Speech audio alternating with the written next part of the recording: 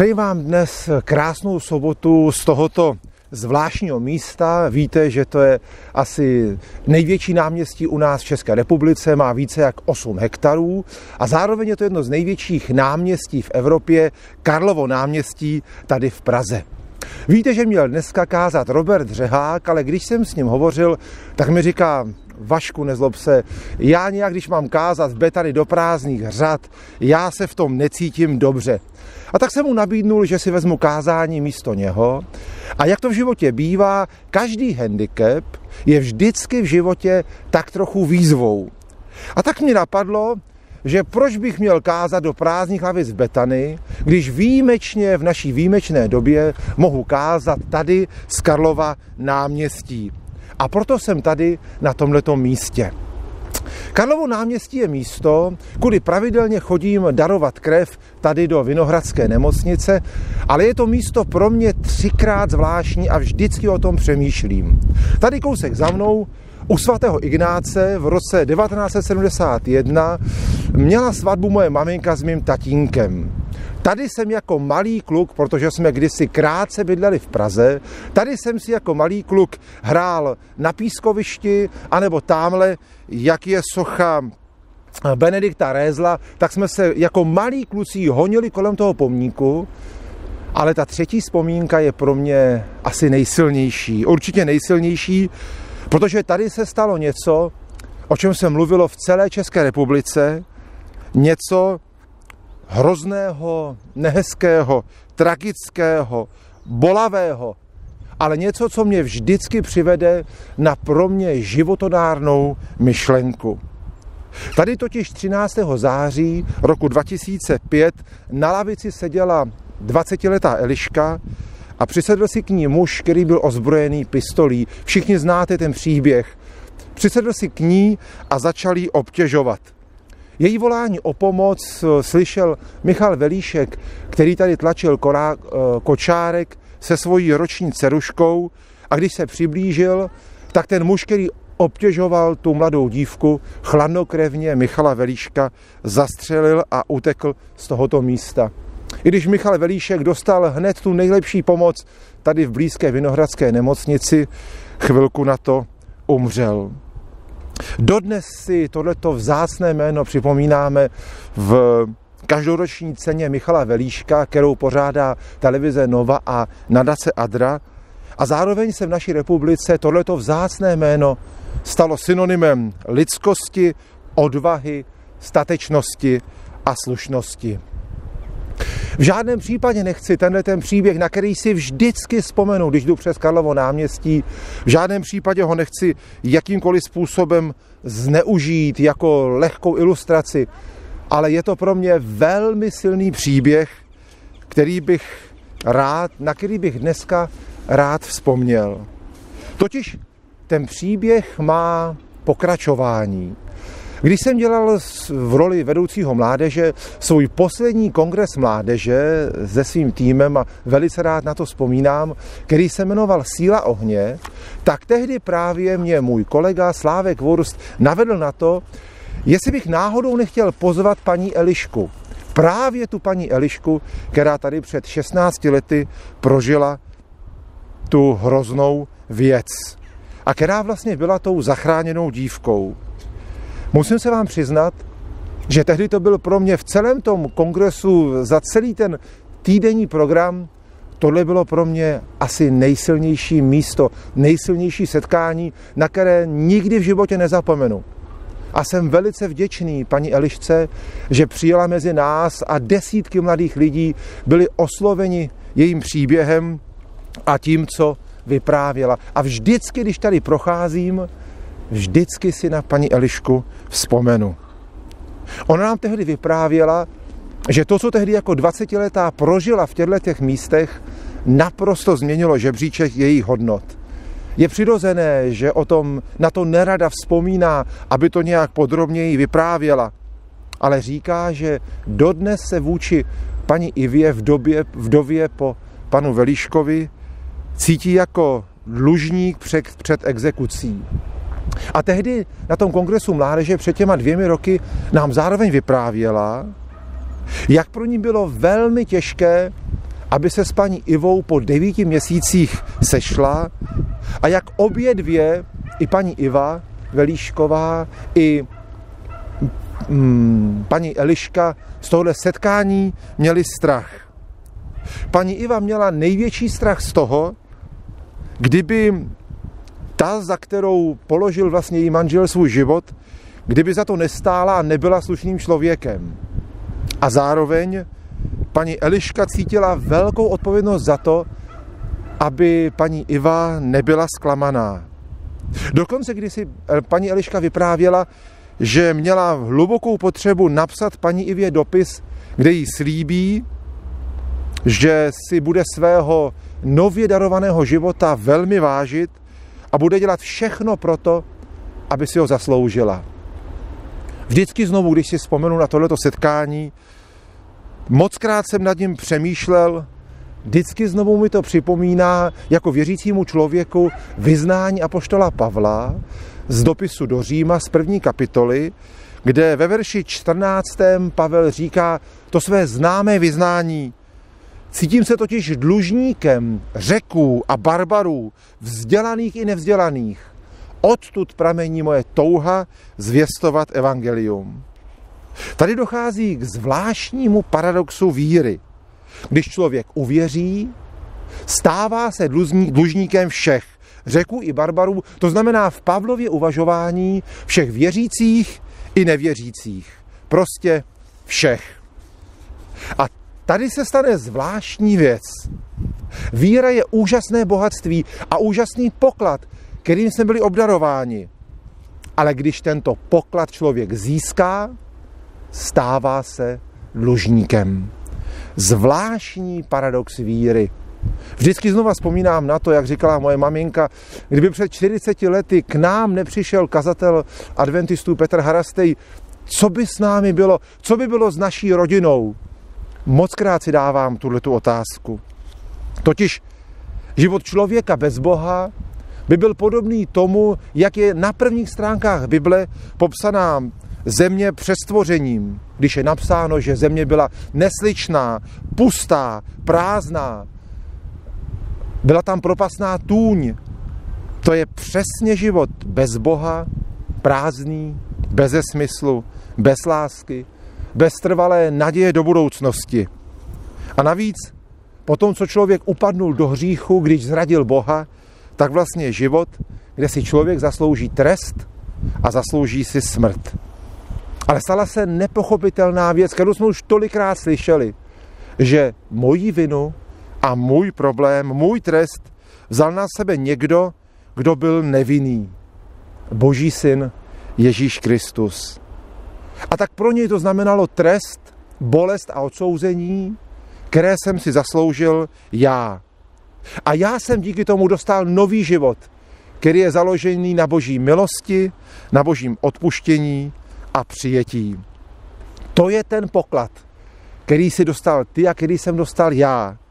Který jsem dostal, když Ježíši uvěříme a přijmeme nový život. A člověk by si mohl říci, no to je dobrý, to je prýma. Teď vlastně, teď vlastně něco vlastním. A my častokrát rádi říkáme, mám víru, mám spásu, mám jistotu v Bohu, mám jistotu odpuštění. To je velikánský omyl mnoha lidí, kteří přijali obrovský dar od Pána Boha a častokrát ho vnímají jako svůj majetek. A chodí světem jako majetníci. Mně to patří. A protože vnímáme, že nám to patří a já to mám, tak se častokrát jako křesťané chováme k druhým s despektem, s nadhledem a s píchou. K těm, co nevěří, k těm, co se nesetkali s hospodinem, k těm, kteří možná věří jinak, než věřím já.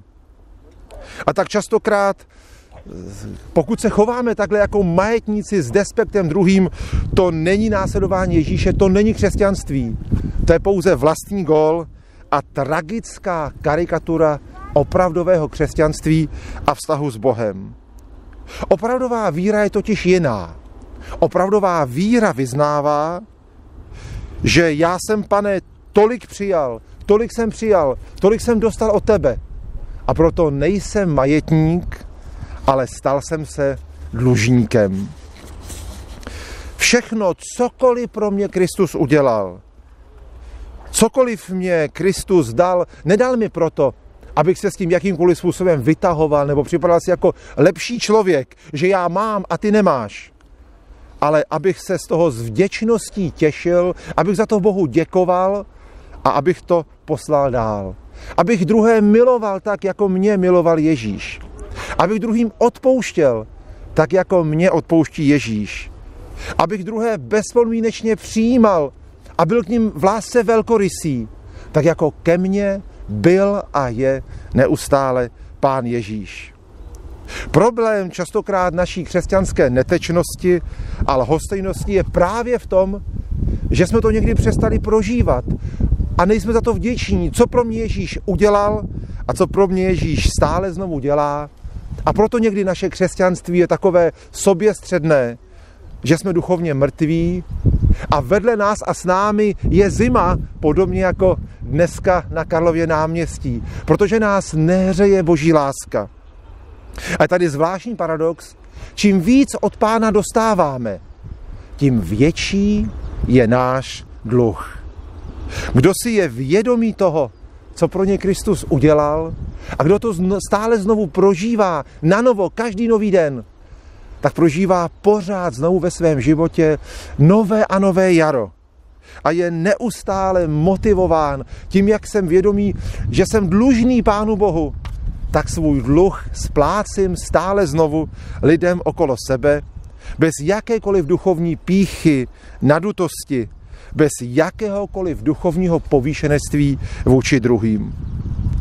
A tady se závěrem našeho dnešního přemýšlení nad Božím slovem dostávám na tomto zvláštním místě k tomu příběhu, který se tady před 16 lety stal.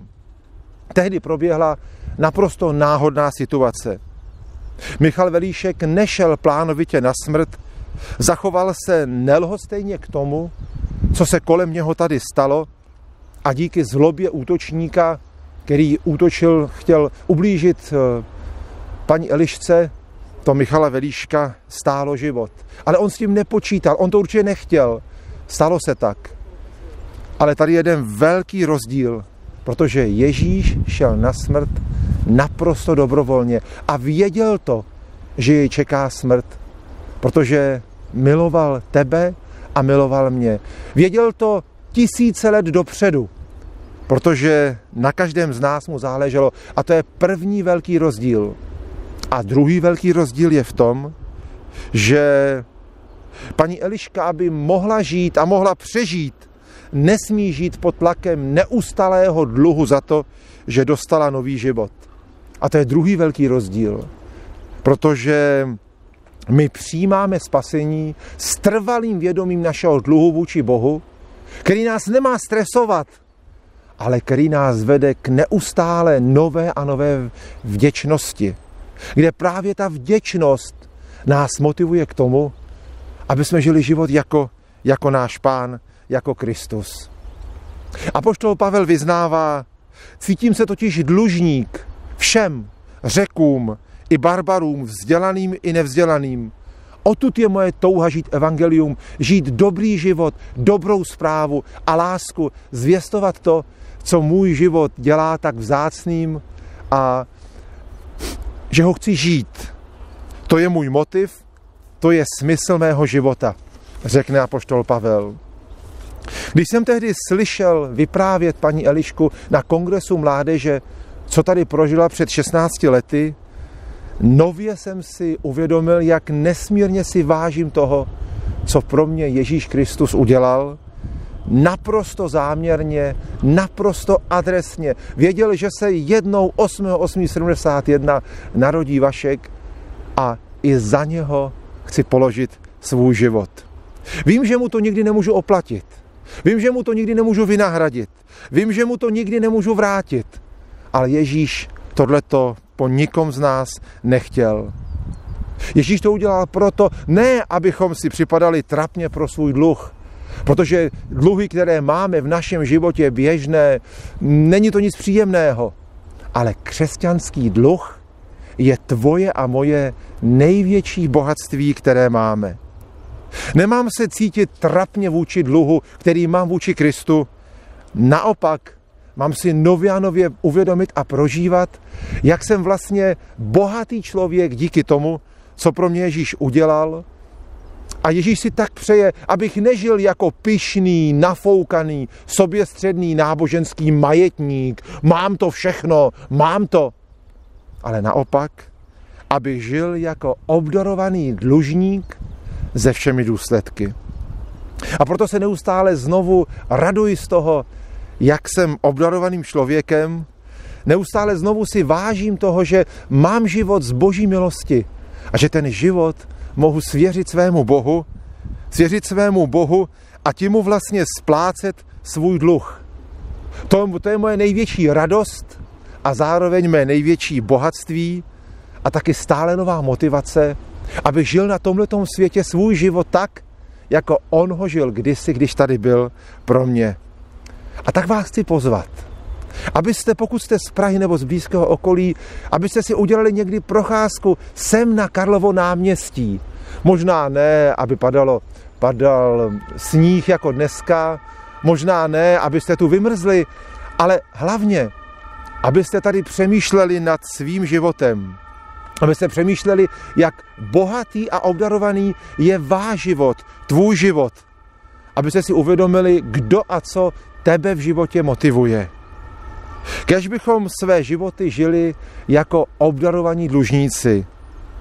Ne sobecky sami pro sebe, ale kež by si ty i já stále znovu děkoval za to, co pro nás Ježíš udělal a jak nás obdaroval jak nás obdaroval svojí dobrotou a láskou, abychom své životy mohli stále znovu žít motivování vděčností, žít s ním a pro něho, pak tu nebudeme žít zbytečně a takový život má smysl pro celou věčnost.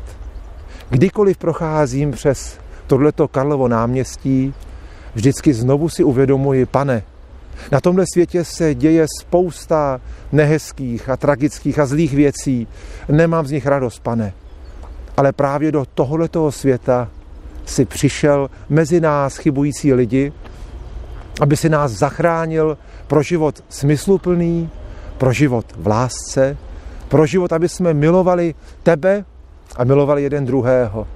Aby naše největší životní bohatství byl dluh který vůči Ježíši máme.